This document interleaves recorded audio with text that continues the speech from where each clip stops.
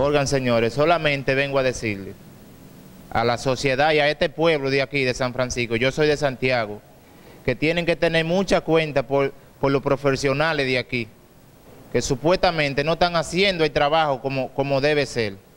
La esposa mía se está chequeando con un doctor hace nueve meses, se llama Carlos de Jesús, Carlos de Jesús, que trabaja en el Seguro Social y supuestamente en el materno. El martes, el miércoles, la esposa mía fue donde él porque tenía un dolorcito. Ella le dice, ¿usted cree que no puedo hacerme una sonografía? Le dice, no, el niño está bien. En la tarde, ella vuelve allá al, seguro. Él no estaba allá, la que la atendió fue una doctora. Y cuando la está chequeando, le dice, ese niño está muerto, mi amor. ¿Qué pasó? Un niño ya Van a ver la foto, un niño que ya estaba para parir al principio de mayo para dar a luz. Niño formado, en salud. Porque mi mujer ni hace desarreglo y lo demuestro a donde quiera. Ni se cayó ni se dio un golpe. Y él le dijo, supuestamente en la mañana le dijo él que el niño estaba bien. Y en la tarde, ya que estaba muerto. Ayer cuando yo vine de Santiago, le digo, déme una explicación, evalúeme la mujer. Me dice, hay que esperar que el niño nazca. Hoy me entregó el cuerpecito, que ya yo lo enterré, con dolor de mi alma. Y lo que me dice que, oigan señores, yo no entiendo. Él, dijo que el niño estaba bien. Hoy cuando fuimos a donde estaba, que yo fui con la cajita, ahí fue a tirarle una foto.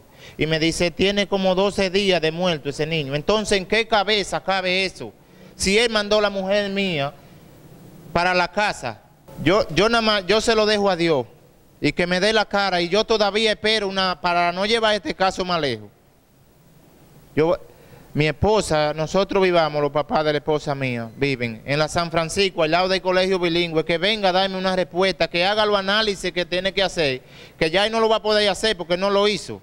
Hoy cuando él me entregó el, eh, el cuerpo que me dio esta alta defunción, agarró ese, y se montó en su jipeta un, un, Toyota verde, porque como yo no soy de aquí, no tengo mucho conocimiento y hay la tareo y la presión de, mi esposa, sufriendo.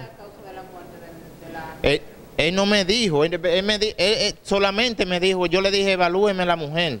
Me dijeron, ay, ¿qué evaluación? Le que está muerto. Eso fue lo que él me dijo. Y no se me deniegue, porque yo vengo para el programa de Ale esta noche y lo voy a llamar, porque tal vez usted cree que yo estoy solo.